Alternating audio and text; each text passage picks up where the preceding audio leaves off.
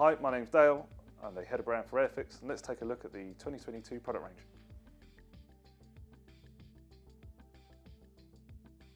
This year we have two new products to our quick build range. The first, our Jeep Quicksand concept with its flame paint scheme is bound to capture the imagination of any young modeller. To complement the Quicksand, we're also introducing the Jeep Gladiator Overland, a long wheelbase variant, but still with the iconic Jeep styling. We're really excited to introduce three new tooled 143rd scale cars to the starter set range this year. We start with two supercars, the Bugatti Chiron and Pagani Huayra, both in 43rd scale and come moulded in the base colours as seen on the packaging, red or blue. The Bugatti contains 39 parts, and Pagani 33. In addition to the two new supercars, we've tooled a 43rd scale Jaguar E-Type with fantastic detail and only 23 parts moulded in BR green. Lastly, we are reintroducing the 1400 scale Mary Rose within our starter set range. Starter sets include paint, glue and brushes, everything you need to start this fantastic hobby. Designed with the beginner in mind, our new starter sets include fewer, smaller parts than traditional Airfix kits, all aimed at giving the best experience for the modeler from the outset. First introduced in 2014, the Bristol Blenheim Mark IV F in 172nd scale is making a return to the Airfix range after eight years. Of the 4,422 Blenheims produced, over 3,000 of them were Mark IVs, with around 60 converted to 4Fs. The Bristol Blenheim first entered service in 1937, and after seven years it was retired from the RAF in 1944. An iconic Luftwaffe bomber, the Heinkel 111 first flight took place in 1935 and went on to see service on every front in the European theatre. This will be the third release of this 172nd scale kit since it was tooled in 2015. The box illustration and decal option represents an aircraft which was shot down by a Blackburn Skua of 801 Naval Air Squadron in Norway, but has since later been recovered and restored. A workhorse of the Second World War, the Douglas C-47 Skytrain was produced in great numbers by the Allies and is arguably known for its role in D-Day and Operation Market Garden. This Series 8 kit in 172nd scale was first introduced in 2014 and has been released four times to date. The first scheme is of 92nd Troop Carrier Squadron in 1944 with D-Day stripes and nose artwork. Kilroy is here, a meme that became popular during the Second World War. The second depicts that of the Military Air Transport Service, MATS, in Canada, 1949, and includes skis. A first for Airfix We'll have all three V-bombers in 72nd scale in the range at the same time. The new tooled Vulcan, the recently released Valiant, and for 22, the reintroduction of the Handley Page Victor. Back in the same schemes as it was originally released in 2016, the Victor B Mark II in 172nd scale. The two decal schemes included are XL 512 139 Squadron RAF Wittering in 1964 and XL 189 RAF Wittering 1968. The latter went on to serve as a tanker during the Black Buck raids on the Falkland Islands. Reintroduced with new schemes, the 172nd scale Supermarine Spitfire F Mark 22. First tooled in 2012, this is only the second time this kit has been released. The F-51D was the same airframe as wartime P-51. The pursuit designation changed to fighter after the war with the formation of the US Air Force. The F-51 performed a variety of roles after the war, including service with many Air National Guard squadrons, as well as a frontline action during the Korean War. This 2012 tooling has only ever been released once as a F-51D over the previous nine releases. A 2015 tooling, the 172nd scale F4 Wildcat. This release includes two new deco options. The first deco option shows an aircraft that took part in the Allied invasion of North Africa, Operation Torch, flying from the USS Ranger. The last mark before the famous Harrier retired from RAF and Fleet Air Arm Service in 2011, the BAE Harrier GR9. First released in 2011, this 172nd scale kit has only ever been released once before as a classic. The 172nd scale Fairey Swordfish Mark I was retooled in 2012 and has been released six times in various guises since.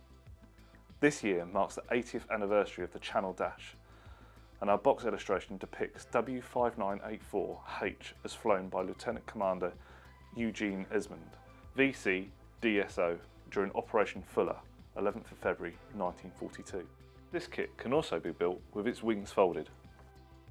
Due for release in time for the 40th anniversary of the Falklands conflict, this 172nd scale Harrier FRS-1 was first released back in 2010 and has seen a number of iterations since.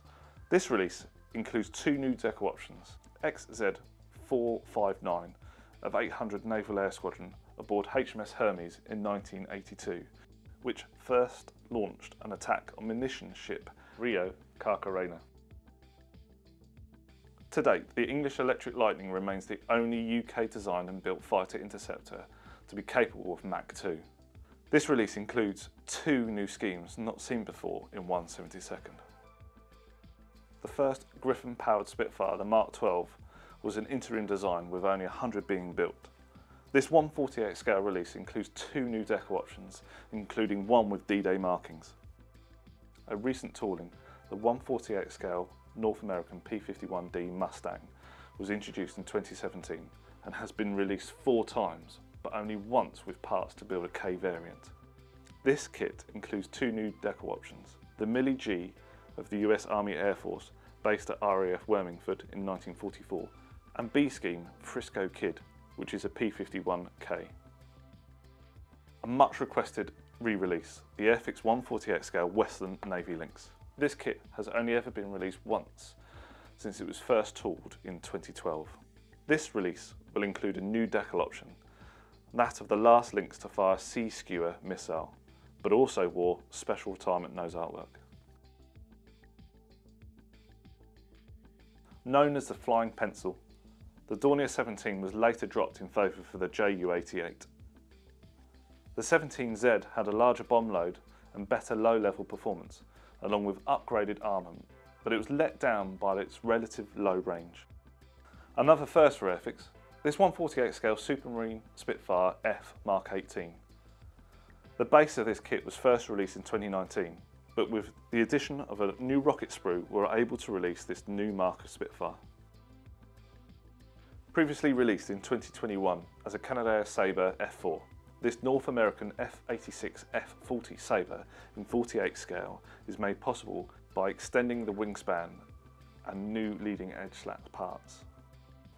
This release will include two new deco options, the first of the Royal Norwegian Air Force and second of the Japanese Air Self-Defense Force.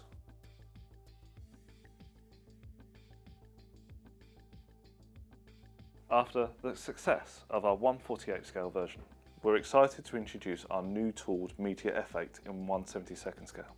The F8 was a significant upgrade on the F4, which was fitted with a new tail design and carried more fuel. A scheme represents that of Desmond Villiers, the first person to break the sound barrier in an open cockpit and carries quite distinctive markings. The new tool Avro Anson Mark I in 148 scale a highly detailed model kit with superb interior features. First introduced in 1936 and retired by the RAF in 68, a total of 11,020 Ansons were built, with just shy of 7,000 being Mark 1s. The schemes included in this kit have been chosen to represent the wide variety of roles undertaken by the Anson during its service. A scheme represents N9732, the 500 Squadron, based at RAF Detling in 1940. This aircraft was attacked by Bf-109s whilst patrolling the Dunkirk evacuation. During the same sortie, it shot down two 109s and damaged another. B scheme is of AW665, 71st Squadron of the Royal Australian Air Force in its experimental anti-submarine scheme being trialled at the time. C scheme represents an earlier version with a more attractive sloped canopy and an RAF trainer paint scheme.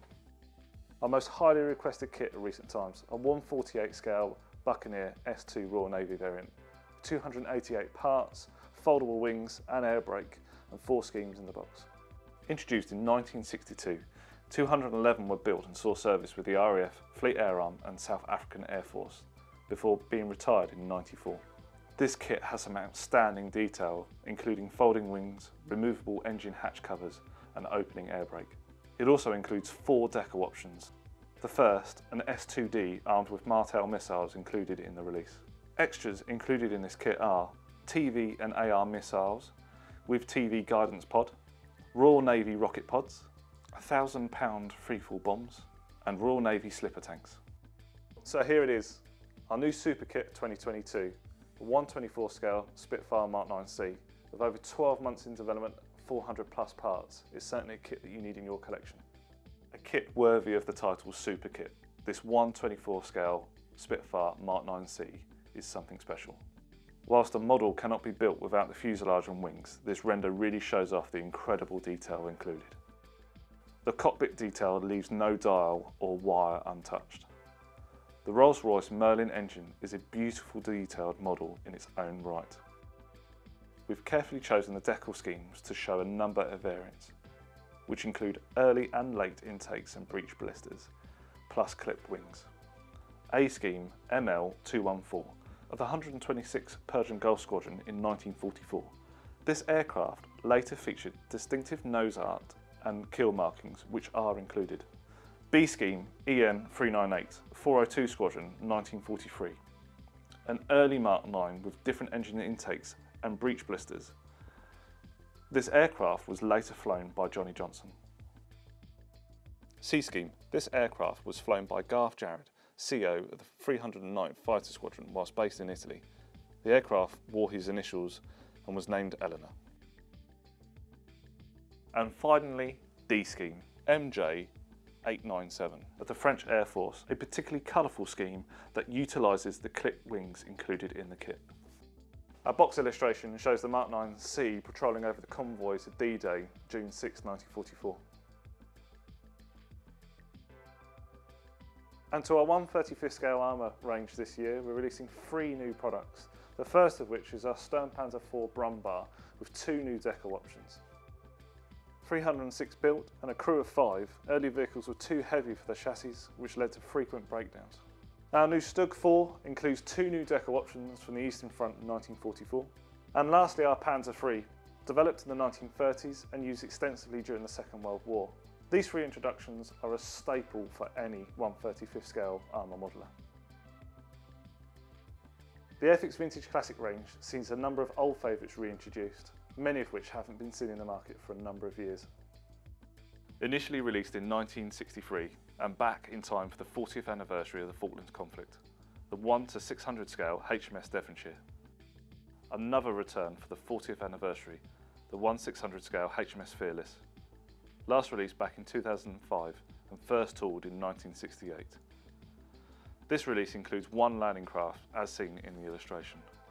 First released in 1962, the 176 scale JS3 tank. It was last seen in the Airfix range in 2011 and goes perfectly with our next reissue. Second World War Russian infantry figures. These figures were tooled two years after the JS3 tank in 1964.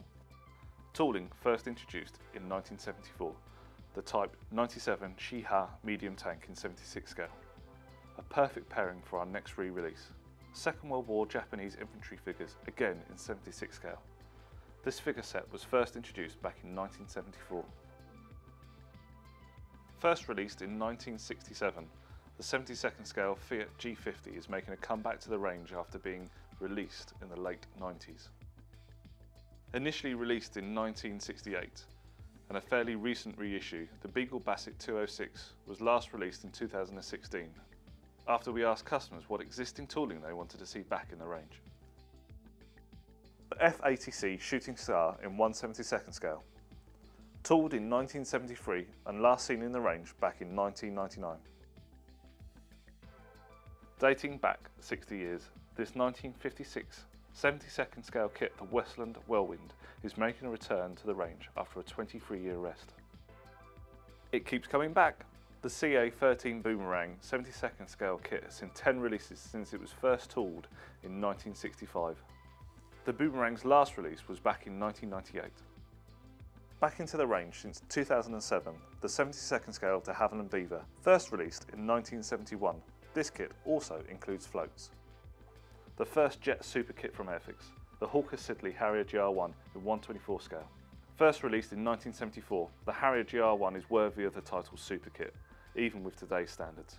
The box illustration depicts XV-788 of 1 Squadron RAF Wittering. This aircraft later crashed in Belize after a bird strike in 1975. That's our 22 product range. Uh, some exciting new products in there, uh, new tools, classic releases, and uh, we look forward to releasing them during the course of the year. Thanks for watching.